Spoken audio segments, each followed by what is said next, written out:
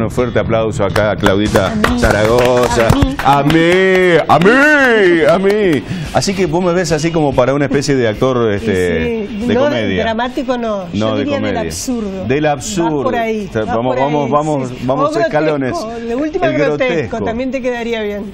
Para un Shakespeare no me da. No, para Eh, tanto no. Pero es en un principio. Es un principio, ¿sí? Un hiperhumor, cuac, una cosa así, ¿eh? Sí, sí. Un picaresco. Sí, sí, un, un Mateo, ¿te acordás de Ah. Terranova? Con- Ay, me mataste. A ver, pará, Eh, pará, pará. Osvaldo Terranova. Osvaldo Terranova. Claro, Sí. el actor. Sí, señor. Este, él, él solía hacer este, grotescos acá en nuestro país y hizo varias en la televisión. Este, por eso, este, hace mucho también. No hace me mucho, insistes mucho. porque te empiezo las clases mañana, ¿eh? Pero olvídate. Esto es así, vos sabés que... ¿Sí? ¿Cómo? Capaz que era mi beta, Peletti, sí, sí. Sí. ¿Y tu beta? La tu beta era actuar y Perfecto. Bueno, vamos, Claudita, a hablar de lo que nos compete. Se viene el taller de teatro para mediana y tercera edad, que esto es fundamental, o se ya está, o, o Eh, continúa abierta la inscripción. Sí, hay, hay, tengo la varios en realidad, tengo varios talleres. Tengo este, uno para mediana y tercera edad en la Endija, que los doy los lunes a la mañana. Ajá. Después tengo dos para jóvenes y adultos.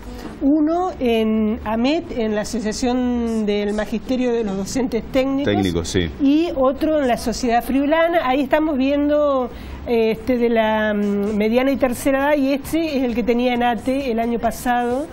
Este, y esa es una de las muestras del de AMET. Bueno, está variado, digamos.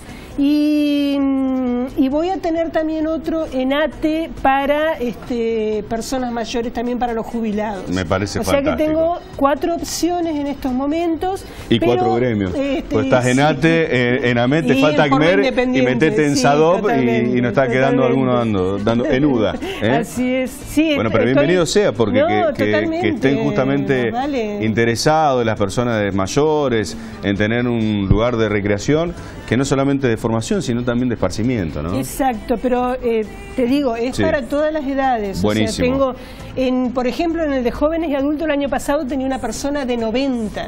Me encantó. De 90 años. Me encantó. Junto con personas de 20 y pico. O sea, era una mezcla este, muy linda, muy fructífera, porque se comparten una cantidad de experiencias y de maneras de ser también, viste, de la gente, Sí. que este, es muy provechoso. Este, ¿Y cómo hace justamente para, para relacionar por ahí en, en trabajos teatrales una persona de 25 con una persona de 90? Y mira, tenemos que ir con cuidado, ¿viste? Porque uno tiene que ir viendo las posibilidades este, físicas de las personas, tener cuidado, que los compañeros también este, tengan cuidado cuando, cuando se trabaja con, con el otro, digamos, porque el teatro es trabajo con el otro, básicamente.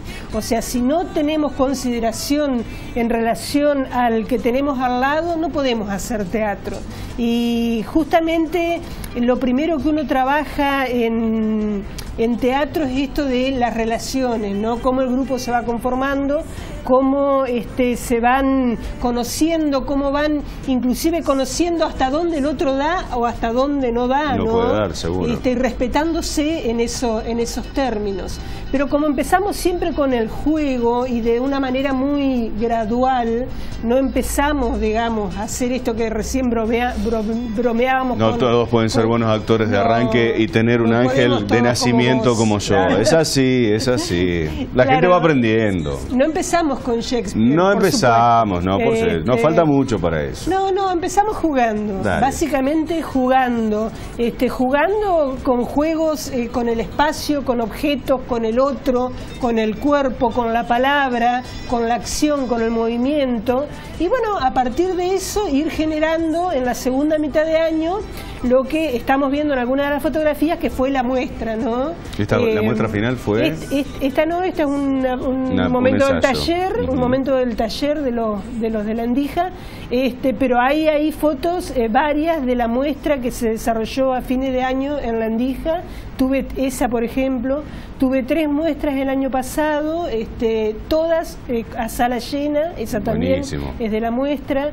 Este, donde Esto para que vean que acá hay corazón grande, acá hablamos de la Endija, acá hablamos de la, de, la vieja usina, acá hablamos de todos los lugares. Y también promocionamos el teatro multimedia también, ¿eh? no es que somos eh, excluyentes, y eso está bueno mencionarlo. No, por suerte Paraná este, tiene muchos espacios, no todos ah. tienen la suficiente, no, ah. digo, tiene espacios. Van con la Endija porque es privado, igual que también nosotros, y cuesta mucho. No tienen por ahí todos los espacios la misma apertura. No, esa, esa, es la lástima, ¿no? Pero espacios hay, si uno los empieza a buscar, hay. El tema es que se abran algunos más, ¿no? Como, no digo como para hacer obras en esos lugares. que se soporten y se ayuden a los que están, para ponerlos en verdaderas condiciones, porque, a ver, todo lo que es estatal es a través del trabajo de los impuestos, ya me, metí en la cuestión empresaria.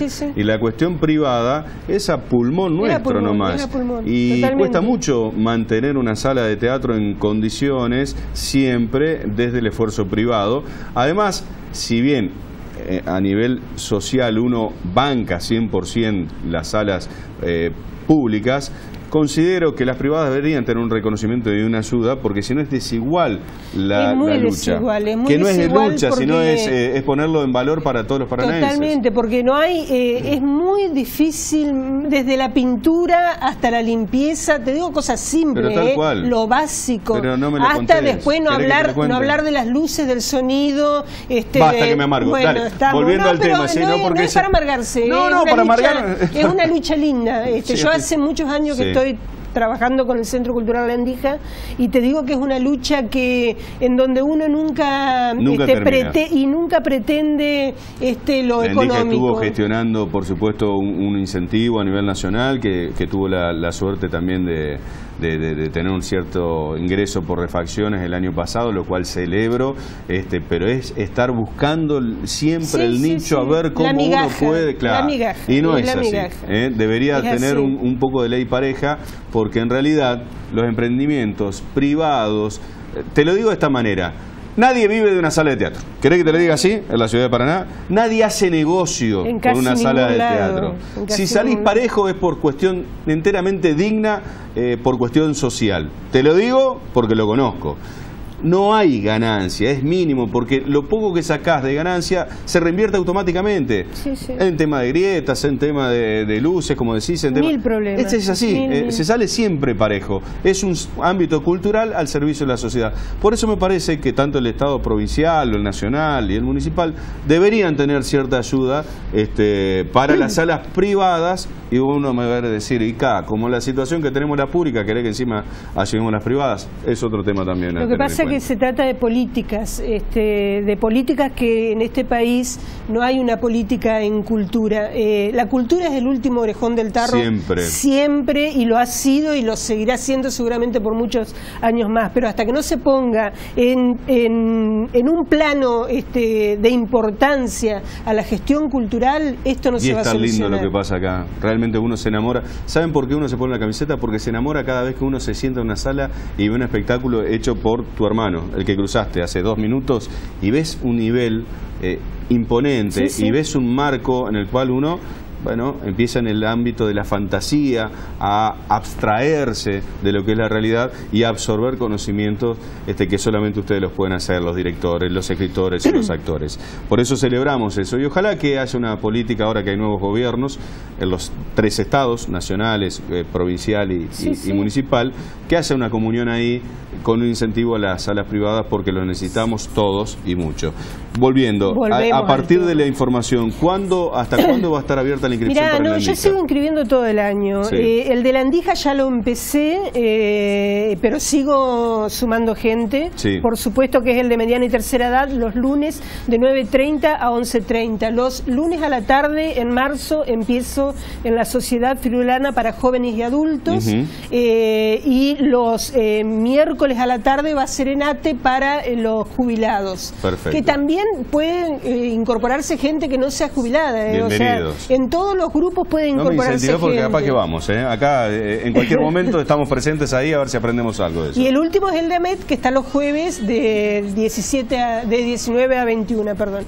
Son los cuatro talleres que tengo este año, por ahora, si surge alguno más veremos. Dale. Este, y bueno, este, ya vendremos seguramente cuando llegue el momento de las muestras, este, como para seguir promocionando. Cómo no, te van a hacer una pregunta más Sí. acá. Quería Sí, que- porque por ahí la gente piensa que no, yo nunca hice teatro, no puedo empezar. ¿Se puede empezar igual, aunque sea de grande, sin haber tenido nunca un acercamiento a la actuación? Obviamente que sí, como ya te dije, el, el taller privilegia el juego y privilegia los ejercicios, entonces este, no, no, no pretendo de ninguna manera algún tipo de, de experiencia previa, porque en general los que van son gente que nunca ha pisado un escenario, Claro. ha hecho talleres, pero eh, por ahí no ha subido a actuar, ¿no? este, entonces, es esta, esta es la oportunidad como para empezar a ver si...